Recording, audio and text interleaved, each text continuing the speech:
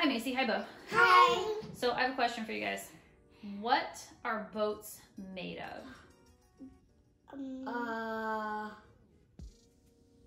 stuff that float. What do you think, Bo? metal. Um, here, I'm going to give you blocks of the Okay. things boats are made out of. And I want you guys to tell me uh, if you think that's a good thing to make a boat out of. Okay. So here's a chunk of wood. What do you think about that? No, Why is wood not a good idea to make a boat out of? because if you were to make a boat out of it, the water would just go right through the wood, right? Think so? I think so. I can see where you would get that. What do you think, Bo? Do you think that's a good thing to make a, a boat out of? Why not? Metal. Metal. So what happens when you put wood in the water? It, It gets wet and kind of gets like sloppy and gooey. Sloppy and, and gooey. Um, and it soft. breaks apart. We'll put it in the water. See what happens. Put the block in the water. Put the block. So what does it do? It floats. It floats. So is that a good thing for a boat to do? Yeah. Yeah. As we shape it very easily. Do you think I could make this into boat shape very easily? No. No, it's not very shapeable, is it? And if we were to like run into something, right, what could happen to it? Is it pretty strong? No. Yeah, it's not particularly strong. Did that surprise you? You Yeah. didn't think I was gonna do that, did No. you? And indeed, Macy was right because if I pour water on this wood and come back a few days later, I'll notice that the wood is going to start to be misshapen and warped. And over long term exposure to water, the wood can completely warp and misshape or even start to rot. is this. So that's metal. So that is steel. So Macy, feel the block. What do you think about that to make a boat out of? No, it's too heavy. It's too heavy. So can you gently put it in the water? Like kind of set your hand sort of partially down there because it's gonna, you're right. It definitely sinks fast and hard. Is it really strong? Mama can't go samurai ninja on it, right? What happens Um, when you slap it? When I slap it, nothing. I just hurt my hand. It's very strong material, but it doesn't float very well, If you right? slap the hand on wood, it breaks. Yeah, that's right. The strength of steel makes it very appealing for large vessels. But when I put water on it and let it sit for a couple of days, you can see that it will react with that water, start to oxidize, and turn to rust. That doesn't wipe off super easily. And over long periods of time, that rust can really turn into a problem for a vessel. Aluminum. Can you feel the block, Macy? That's pretty light, but it doesn't float, does it? It's lighter. What do you think, Bo?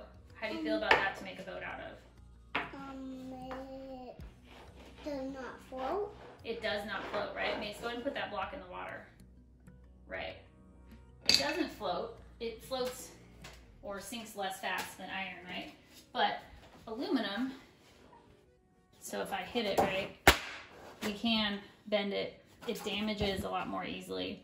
So it's all right to make a boat out of. Like this is what they make pontoon boats out of, to make the pontoons and fill them with air. That makes sense. Um, yeah, but it's not like super heavy duty. So it's shapeable, but it's not super strong.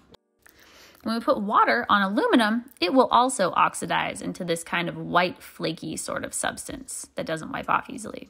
Plastic is something that they use to make boats. Throw that in the water. What happened? It sank. Does that seem like a great thing to make a boat out of? No. Not particularly. But the cool thing about plastic, right, is it's super moldable.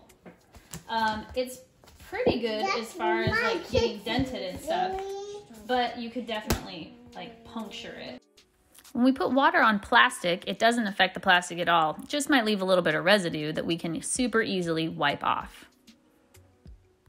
Fiberglass is made by taking this like mat type material that is little tiny fibers of glass. That makes sense.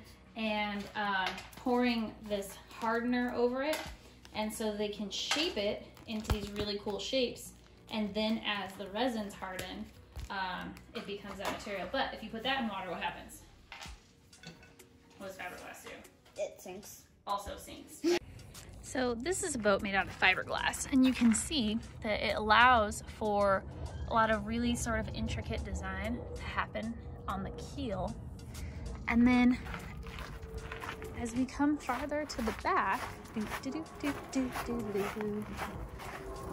this back here under the swim step, I can show you what that fiberglass underneath looks like. So you can see the little fibers that they used and then they put the resin on it so that when you are on top of it, it has this nice smooth appearance. Fiberglass is super rigid and has a tendency to crack and can even snap and break under enough pressure. When we put water on it though, it just leaves a little bit of residue that can easily be wiped off. So the interesting thing is that most of the things that we make boats out of today actually do what in water? Sink. And so in order to get them to float, what do we have to make sure that they're filled with? Air. So while the density of a material is important when choosing the material for a boat, other things like the strength and the oxidation rate of a material might be more important depending on the circumstances and which type of boat it is you're looking to make.